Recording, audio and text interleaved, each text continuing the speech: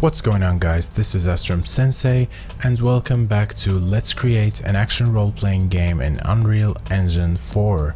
So in this video we're going to be adding a equip sword animation with uh, like a real sword that you equip and unequip when you press a button. So it's not really an equip, it's more like a draw sword and sheath sword that way like um, like in for example in games like Devil May Cry when you're exploring you don't you're not holding the sword but you want when you want to fight you press the battle um, like the attack button and you uh, the character Dante he grabs his sword from his back and he uses it to attack his enemies. But in this game we're not gonna be like directly attacking we're just gonna for now I mean when we add an attack button uh, we'll do it like when you press the attack button and the sword is not drawn he, the character quickly pulls it out and attacks but for now you you have like the one button you press it and you grab the sword and when you press it again she puts it she puts it back behind her her her uh, back. I noticed there's a problem with the cloth over here, but I'm gonna try to ignore that. So yeah, in Mixamo, you wanna download either this animation, for if you wanna put the sword here. I might do that. No, no, no, I don't wanna do that. Uh, I'm just gonna use this one and maybe I'll replace the character in another video so for now let's I, I already downloaded the object, uh, the animation, I created a combat folder in the animations and I imported the animation and then I right clicked on the animation, I pressed create and created an anim montage and this is the anim montage. Now this will be explained later. For now, just leave it at that. As for the sword we'll be using, I'm actually going to be using a sword from the Infinity Blades weapons pack. So this is free on the Unreal Engine marketplace. You can download it and add it to your project whenever you want. Or if you have like your own sword that you've modeled you can just use it. But I'm gonna be I, I already chose a sword from there and I exported it from the from the Infinity Blade weapons. I'm gonna show you how quickly because we we don't want uh, these swords they're all um, static uh, they're all skeletal meshes and it's better to use a static mesh for these swords so you see uh, you pick your model. I already picked this one. Let me show you this one. It's really nice. It's noble. And you right click you you, you uh, where is it? Asset actions and export as an FBX so do that. And when you import it again I made a folder called weapons. Now I'm not doing this stuff in front of you because I actually already recorded like half of this tutorial but I noticed that the record button I forgot to press it, so that's horrible. That's really horrible. Uh, so this is the last the last step I did. Uh, like I deleted everything else I did. So this sword, you import it as a static mesh, and I took all of the um, textures from the sword folder in the pack and I made a material that's a duplicate of this one because some for some reason I couldn't move it and I applied it to, to my static mesh. So now it's ready to be placed on our character. And then now we're gonna start actually doing stuff because um, yeah this part I need to show you. So yeah there's a lot of time that I wasted with that because I forgot to press the record button oh my god. So you create a new input a, new um, input in your project settings and I called it what did I call it? Oh my god. Okay I called it weapon 1 and as for the input I chose the 1 button for now. Now I might change this later, I'll tell you if I do. But for now 1 is good. And then you want to go to your static mesh, to the skeleton section, and you want to add a socket for where um, you want your sword sheath to be. So I'm gonna go with left shoulder and add a socket. This is where the sword will be when it's not in your hand. So I called it, uh, what did I call it? Sword, oh no, not sword. Weapon, sheath, one. One? Yeah, one. And as for the other thing I did, in our right hand I made a socket for the sword like when you when you when you're holding it so uh, I'm gonna call that weapon hand socket oh my god I can't believe I forgot to click the record button. This is hell. I went into much much depth explaining everything and now it's all gone. Okay so over here in our character blueprint we're going to be choosing the mesh um, component and in here want to add a scene mesh. I'm gonna call this one weapon sheath. One for now. I might change anything later so make sure you keep your keep your mind flexible about it. And you want to add another uh, actually let's add the static mesh. This is gonna be called sword of nobles I, actually renamed my sword in the in the um, version where I forgot to click the record button so that's that's a waste. I made a lot of jokes. And in the static mesh, I'm gonna choose it. Whoa, it's coming out of her chest, but yeah. For now, that's good. What about this one? Okay, so over here, we should adjust our we don't want to adjust our sword location using the sword mesh. We want to adjust it using this scene component. So let's do that right now quickly. I already did this in the version where I recorded. I forgot to click the record button so mm, what a waste okay this is annoying when the animations are turned on so maybe I should turn them on for a bit. No where is it? Animations. Where is it? Pause anims okay this is good. Now we go back to our weapon sheath thing. And we and something really annoying happened that is that our cloth here our cape is getting in the way of our sword. But like I might change the character model for our main character but I don't want to because I want to add cloth simulation for this cape. So for now I'm just gonna stick the sword like this without it like getting in the way of the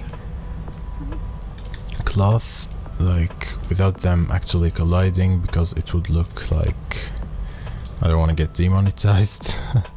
So yeah this is good. Let's check her from the back. Okay.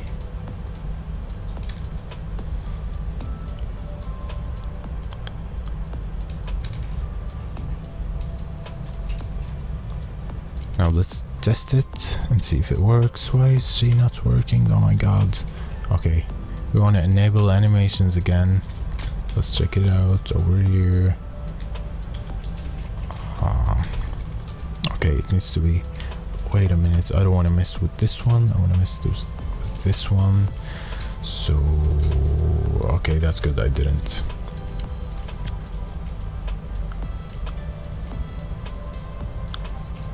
Okay, this is good. So let's test it and see if, if it's stuck. Okay, so now the sword is stuck on her back. Why is it moving like that? Okay, it's fine. Yeah, it's stuck on her back. It's not in the middle, that's annoying. Uh, but yeah, it's stuck in her back and it won't fall, I promise. You can sprint, you can crouch and it won't fall. But let's place it in the middle and try it out. Okay, that's good for now. We might uh, fix it later, but for now that's okay. And under mesh, we want to create another scene component. And we want to call it weapon in hand. And I'm just gonna move the sword. Why did I call it Sword of Nobles? Oh my god, Sword of Nobles. And in here, I'm gonna do the location again at everything at zero for the sword because we really want it to be at zero. So uh, now where is it? This scene component we want to attach it to our weapon hand socket. Did I attach this one? Yeah. Okay. And we want to move our scene component in a way so that it does not um, like it's it's in our hand so I'm gonna disable animations again. Where is it? Animations. Pause animations. And I'm gonna fix the sword. Maybe I should save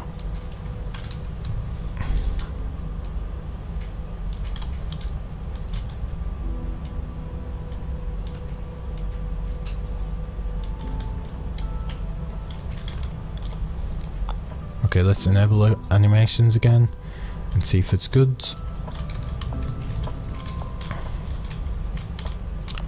Hmm, there's something about it that needs to be fixed. Let me see.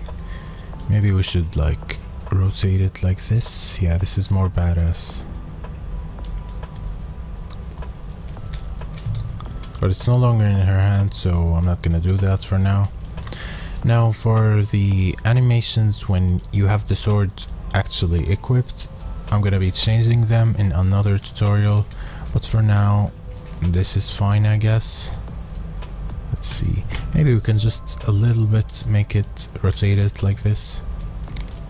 No, not the sword, we don't want to rotate the sword, we want to rotate the scene component. Make sure to remember that because that's very important.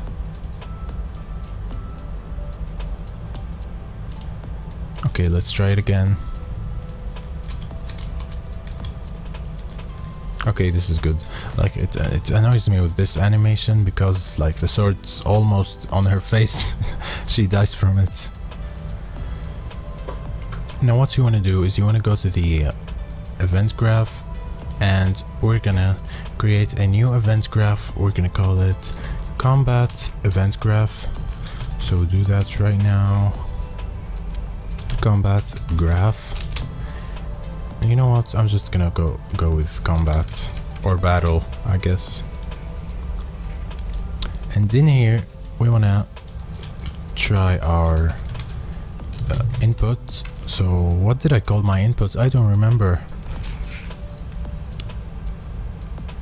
Actually, I'm gonna I'm just gonna go back to the game and see if uh, I'm gonna go see if what my input is called. So weapon one, I'm gonna change that to draw weapon for now because there is no other weapon. So I guess draw weapon does the job for now. So in here, draw weapon and we want to create a condition as always so I'm gonna create a new variable and I'm gonna call it draw oh no weapon drawn and I'm gonna put it here set weapon drawn pressed. So if we press the weapon drawn we set the weapon drawn to whatever it is not. So we get the weapon drawn variable and we use a not boolean. And after this we want to add a branch with the condition being this one. And if it's true wait let me make this bigger. Okay if it's true we want to play anim montage. And the reason we're using an anim montage instead of an animation is because we want to edit the animation to be just the upper body so that we can draw our weapon and unequip it like put it back while walking, while sprinting, while crouching and the animation itself comes with the leg movement so that's why we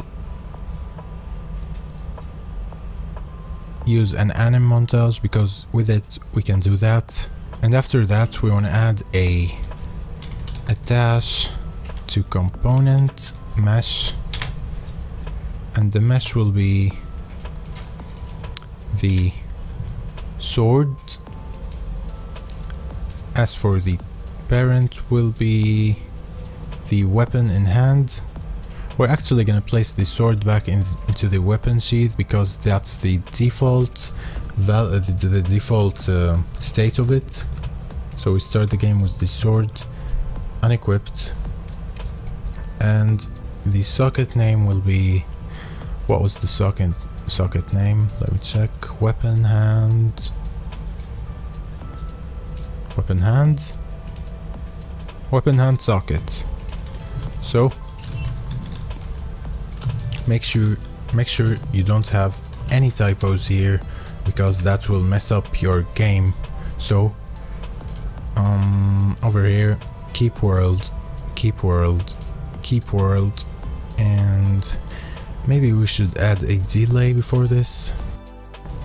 Because uh, it's while the animation is playing like we wait for it to play then we do this so our animation is like until she grabs her hand like she put she grabs the sword it's 0.7 or 8 seconds so I'm gonna do 0.8 and after the attach to component uh, let's first let's um, copy all of this and paste it to false so if we if the weapon is not drawn, we play the animation montage, but instead of placing the sword into the weapon in hand socket, we place it into the weapon sheath one socket, not socket, the scene component. And as for the socket, we also do the same thing. Let's check the socket name. It's weapon sheath one, so I'm gonna name it weapon sheath one.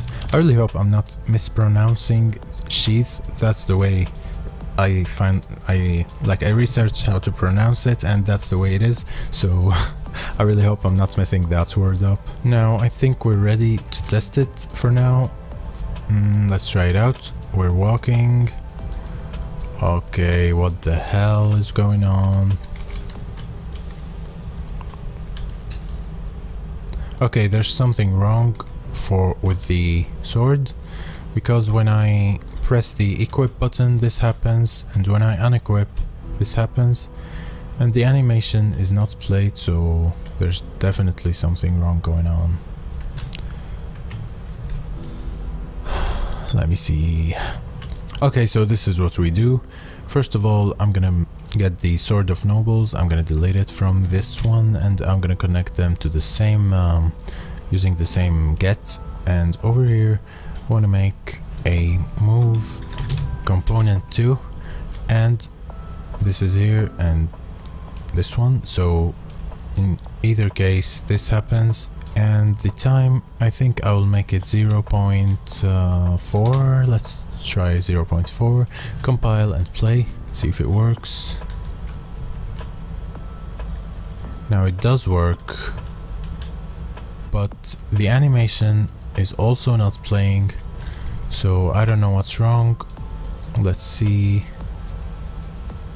Hmm. Here it is.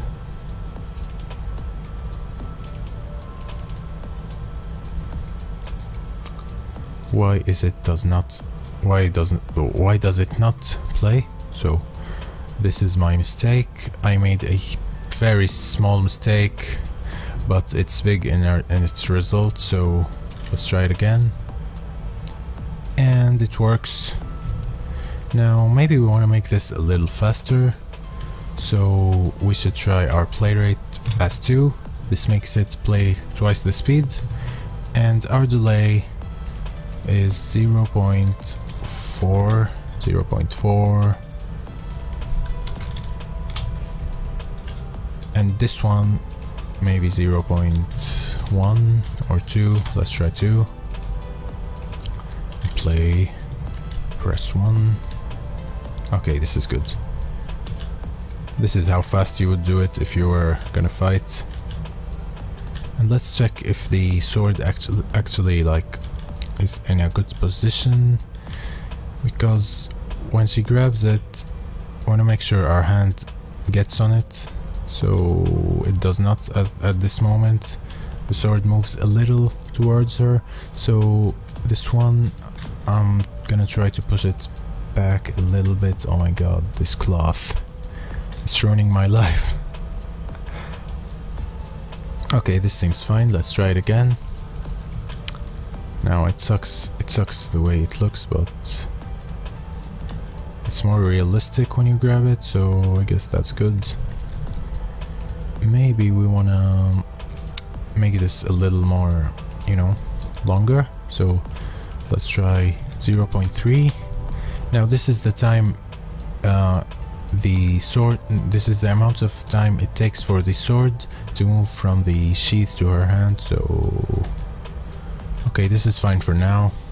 We can adjust it anytime we want so yeah this is this is the small stuff. It's it's more related to the animations and how you set it up not uh, to the code itself so for now we're good. Now what we want to do is we want to fix how she her legs play the equip animation when she's doing it while walking or while sprinting or even while crouching she stands up and she grabs it instead of just grabbing it. So to do this we're gonna do one simple thing. Uh, it's not one thing like it's one simple set of events and that is we're gonna go to our animation montage and we're gonna create a new anim slot. I'm gonna call it upper body and we play it for this one. We move this a little bit to refresh. So now we created a new slot and we'll go back to the animation blueprint this time. To the anim graph. Oh, I hate this part. I don't like the anim graph. Now over here we want to from this default slot we want to cre create a pose. Pose uh, saved new save cached pose. And we're gonna call it default pose. Let's not use spaces for now. And over here we want to we want to create another one. Pose just pose. Pose. Mm, where is it? Okay I, I remember. We want to create a create slot no slot. Maybe this one. Can we rename this? No we can't. Oh yeah we want to create a slot default slot and choose upper body from here. This is where I messed up. We don't need any of those.